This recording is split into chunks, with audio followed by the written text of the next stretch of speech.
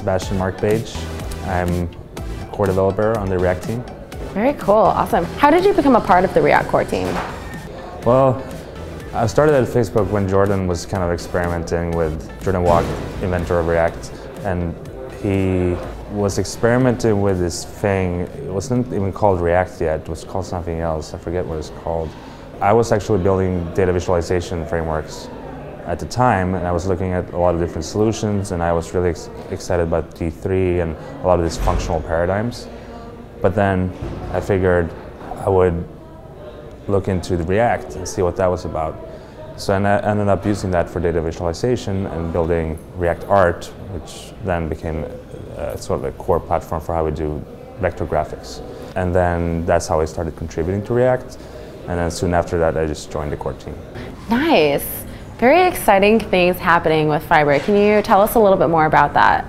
How it came about is pretty interesting because we had a lot of different experiments at Facebook where actually a lot of the inspiration for me came from ComponentKit, which is our iOS React-like framework. But it's driven by multiple threads and an STM kind of model, software transactional memory. And it didn't have all the features of React, but it had the features that we needed to power Newsfeed. So that's actually how we build Newsfeed for Facebook.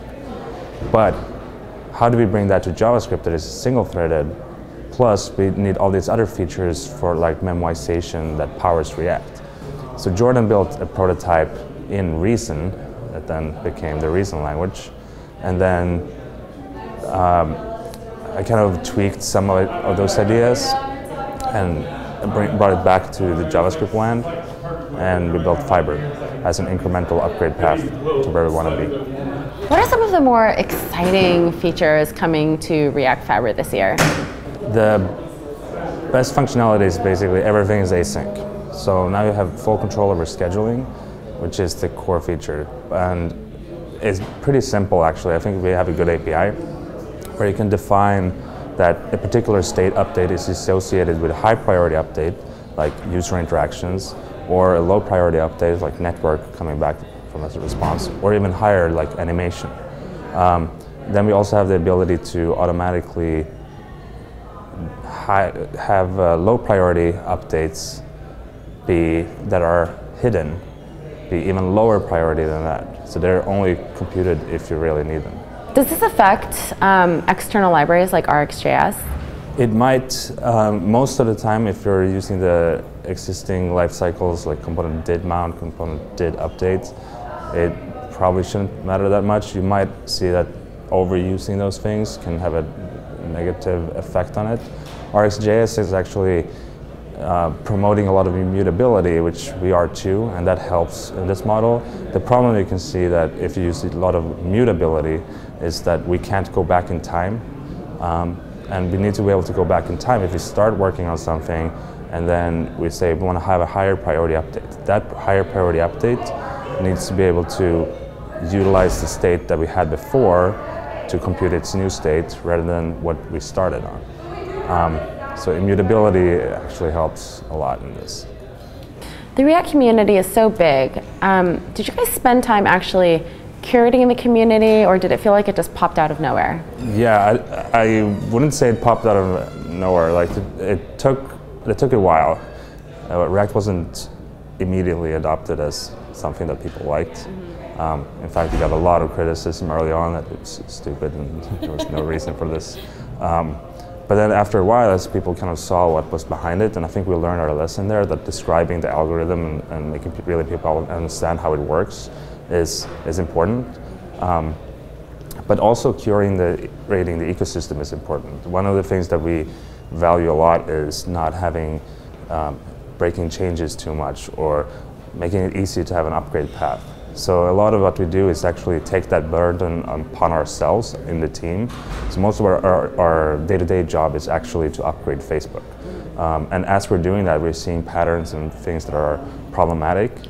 Um, and we kind of learn the lessons that we had to go through and we bring those to the community so we can explain them how to upgrade them. Because if you don't build an ecosystem around what you're building, then you're just going to build a small thing and you can't build anything on top And technology is all about building things on top of layers after layers after layers, and that breaks down if you can't unify.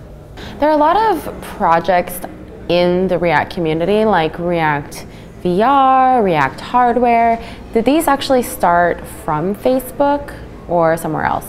Not all of them. There, there's a lot of different versions. What about React VR? React VR did. Okay. Um, so that's something we haven't we have kind of launched an alpha preview. It isn't fully out yet, um, but hopefully pretty soon will be. Mm-hmm. And that's built um, for our Oculus platform, mm-hmm. uh, but also cross-platform because everyone in the VR space really realizes that it's not about the platform games. It's about everyone building for VR because it's a new platform. We have to build excitement, and everyone has to have content for it. So there's actually a lot more interest in web VR uh, than native platforms right now, which is really exciting, I think. Interesting.